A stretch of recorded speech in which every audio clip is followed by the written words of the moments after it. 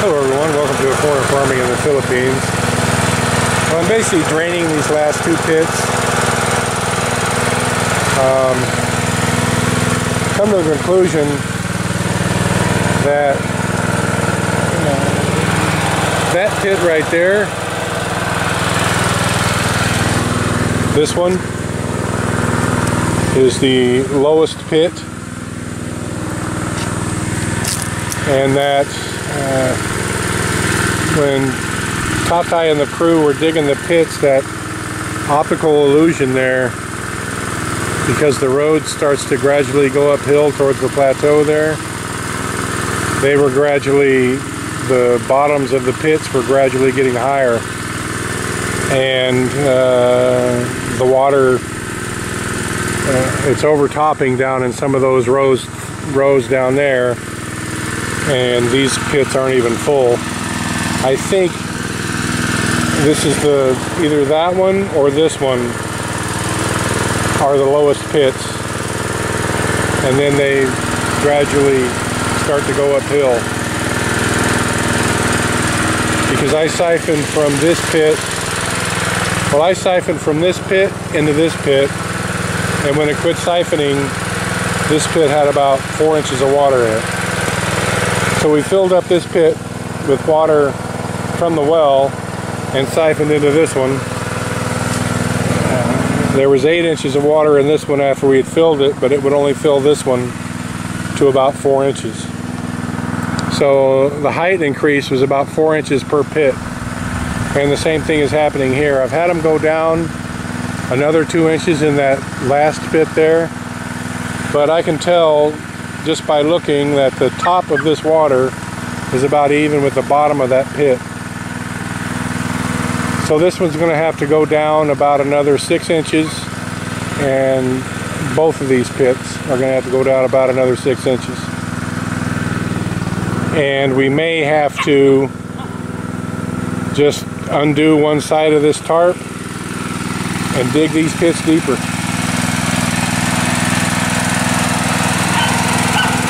I've come too far and done too much work on these to have them not work properly. I'm not going to put individual pumps in these pits. They have to drain one into the one into another like a terrace. And it has to be that way.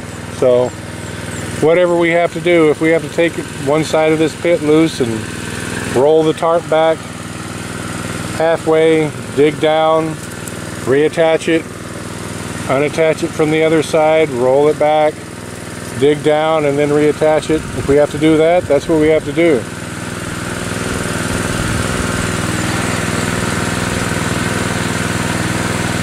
I'm going to drain these two pits here on the end. Well, not the that last pit I'm going to leave for now. these two pits here I'm draining and I'm going to set up the siphons again. There's actually a siphon going into this one down on this end. I'm going to see if it's actually working. They've been losing, the siphon has it's been losing it periodically. Obviously got a dog fight going on somewhere.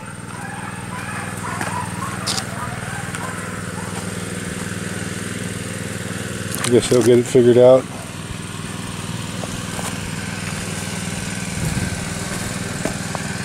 Check by weight here. Yes, it is siphoning. I can see the I can see the new muddy water flowing in there. Well, this one actually is working. Silly me. Uh, yeah, because because I'm siphoning it out down on that end, it's flowing into this one. So it's working up to this point, up to this pit.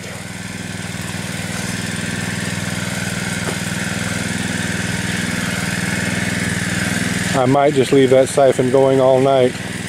I'll come back down about 11 o'clock and see how things are doing.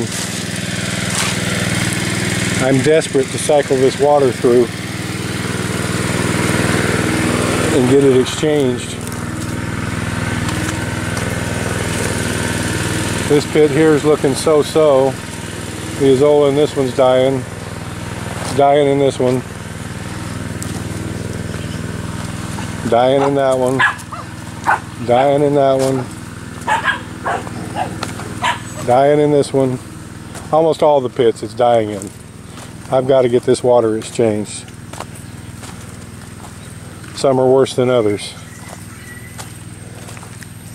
I ran the pump this morning before we went to get fish food. I just put gas in it, about what I figure it would need. And then run out of gas before the well went dry.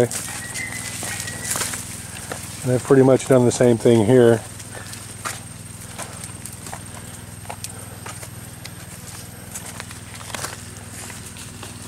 This pit's doing okay. This one's not.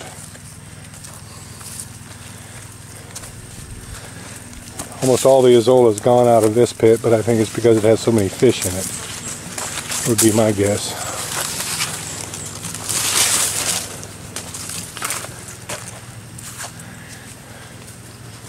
There are quite a few.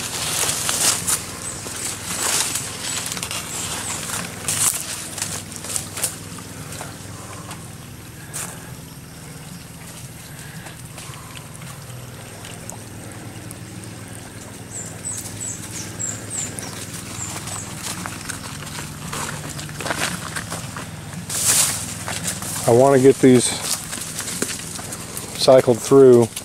I timed what it, I timed the amount of time that it would take to fill up one pit yesterday. And it's about 20 minutes. That pump running about 20 minutes.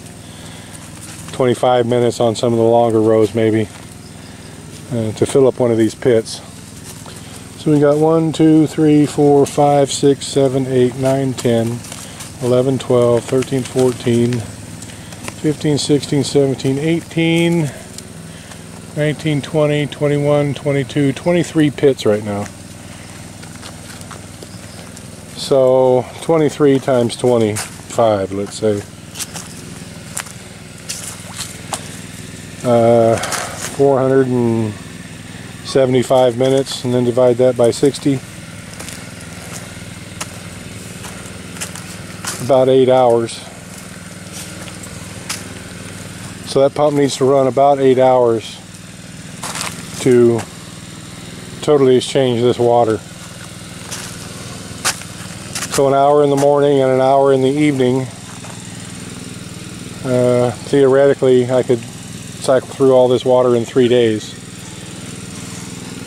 So after about four days, I'm going to put an extension. After four days, I'm going to I'm, I'm going to cut it back to uh, running the pump into these pits once a day and the other day I'm going to run it into the tilapia pond because I was looking at it today and it looked sad indeed. It's really fallen. It rained last night at some time. I got up, I didn't get up, but I woke up. So I knew it was raining. And I asked Tati how long it had rained and he said about 20 minutes. So basically enough to sort of water the garden for a couple days, but that's about it.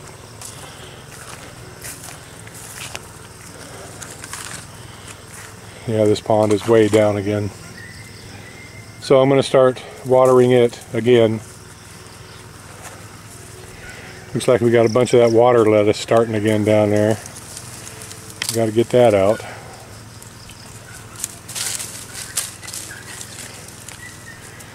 Hard to get it all.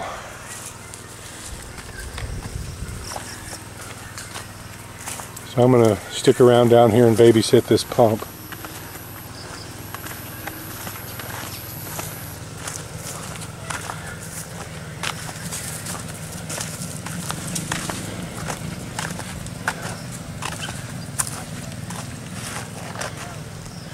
What did those guys do?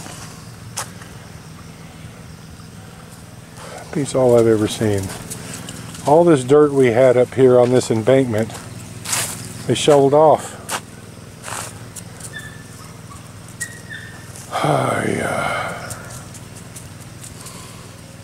So before it rains again, we've got to bring a bunch of dirt up here and repair this dike. This is fine in here. You probably can't tell on camera, but it's about a six inch lip and that'll be plenty. But right there, it's just, it'll drain right off into these Zola pits. And that's what I don't want. So from the looks of things, we basically have two producing Azolla pits and none of the rest of them are producing. All the rest of them are dying off. So that means it's going to take about two weeks after the water exchange just taking Azolla out of the pits that are producing and putting it in the pits that are not producing. And it'll take about that long to get them going again.